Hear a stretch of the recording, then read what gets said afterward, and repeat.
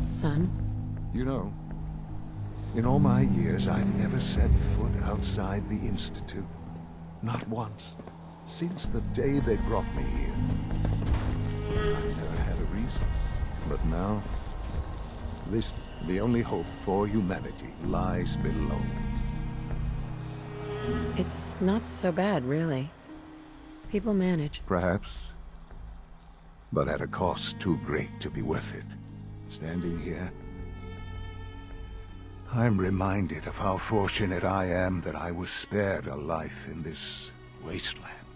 I know that to you, I was kidnapped from that vault. In truth, the Institute rescued me.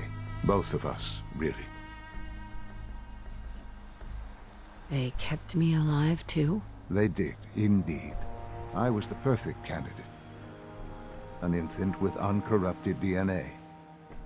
But if something were to go wrong, if I died, well, the Institute realized a contingency plan was prudent. Another source of pre-war DNA, preferably related to their primary subject. It only made sense that my parents should fill that role. So you were kept alive, mm-hmm. I'll admit. When I had you released from Vault 111, I had no expectations that you'd survive out here. In all, to not only do so, but manage to find me. To infiltrate the Institute itself. Extraordinary. So it was you. You let me out? Yes. It was my decision. Certainly it was no longer necessary to keep you suspended. I... Well, I suppose I wanted to see what would happen. An experiment of sorts. Would the Commonwealth corrupt you? As it perhaps most curious to me. Would you... Shaun, you need to know. I still love you. I can see that you do. It's... Well, it's remarkable. Hmm. The synths have been safely returned and will be repurposed. Thank you for your work. I hope you weren't at too much risk. There's always a risk. It was worth it. I'm glad you see it. Sure. The railroad remains an annoyance, of course. And you, well, Right. please. It's time for you to become more involved. I'd like you to join me. I'll be waiting. I've seen enough.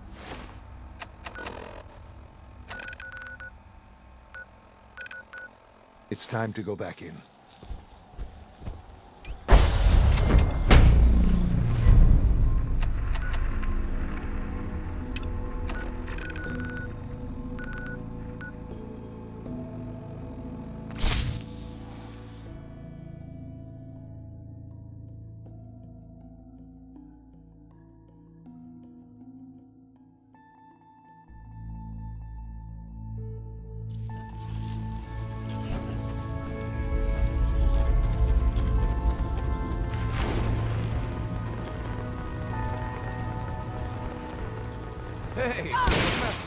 Professor's back.